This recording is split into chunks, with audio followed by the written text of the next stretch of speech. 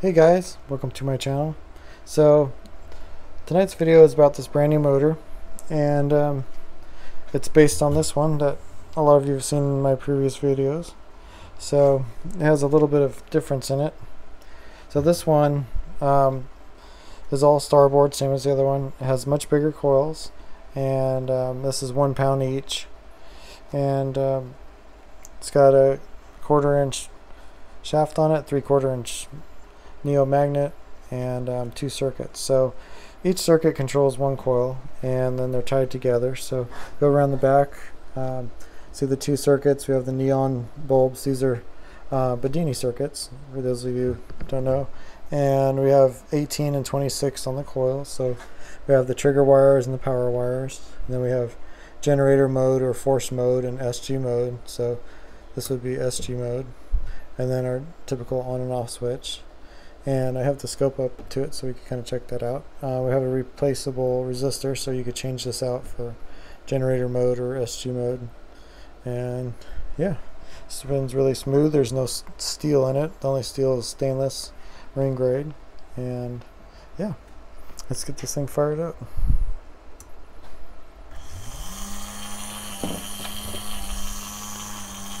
So under no load you're 7200 RPMs and this is our input and our charging. You see that kind of reflected in the back here. So no load, you're 600 milliamps and pulsing 2 amps. And uh, what's neat about this is that it's pretty well tuned already. So this is tuned to be the highest speed and lowest amperage. And then as you load it up, it'll go and then it'll kind of kick back and change its, its whole way of running. So instead of one pulse per revolution, now we're doing like 10 pulses. And um, when you use just a straight amp meter, this will actually show less. But if you look at the cap dump, as we load it down way much, it gets much faster. So pretty neat. It changes how it goes. So that's because of the trigger wire and the generator ignition on it. So uh, as you slow it down, the voltage is less, which makes these switches start to oscillate. And um, yeah, it makes a really nice effect. So you can see the blinking of the cap dump. The cap dump's really nice because this motor puts out 500 volts um, when you're not connected to the battery, and this is a good way to convert that into amperage. And the cap dump helps desulfate the batteries as well. So yeah.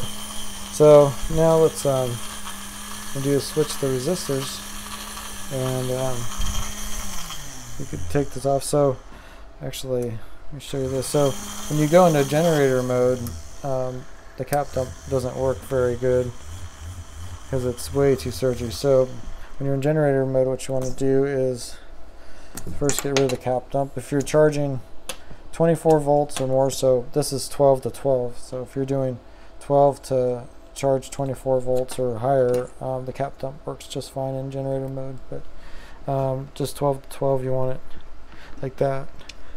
Just straight to is the most efficient way to do it. So what we're going to do is switch this resistor out. So like I said, if you um, if you have a pot, one of these 25 watt um, 1K ones, you could just plug this in right here, and um, you could really adjust it finally. But um, those of you that don't, um, I'll provide a higher resistor that goes right in here for generator mode. And I, I also have those pots on my site, so if any of you guys want to buy them and can't find them, I have those. So we got the higher resistance one, we got in generator mode, so now we're just going to fire this thing up. And um, yeah, so runs way, way slower, so we're, we're about a thousand RPMs or so under generator mode and you can see the waveform. So it acts kind of like how SG is um, when you're loaded up. So we're using about 750 milliamps and we're charging uh, right around 650 milliamps. So this motor will do um, what I've seen so far up to 80% of amperage return to the second battery. And then obviously it's higher voltage to be able to charge the battery. But as far as the meters go, um, you get up to 80%. Um, if you fine tuned it with a pot, maybe more. Um, it just has to be tested and refined and things like that. But yeah, generator mode's really nice. I mean, it's running, you could barely even hear it. Super smooth. And yeah. So what I'm to do now is show you guys what it looks like. So what we're going to do is put this back to SG mode.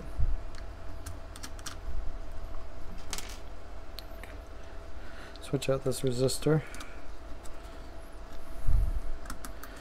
So I'll show you guys what it looks like on the screen when the output's not connected. So we're putting this on 10 times now. So and disconnect the output and then you'll be able to see the neon. So we disconnect it. You see that right there and then on the scope you can see goes all the way down 500 volts. Pretty neat. And you don't really want to run that too long. But yeah, pretty cool. So thanks for watching and don't forget to check out my store.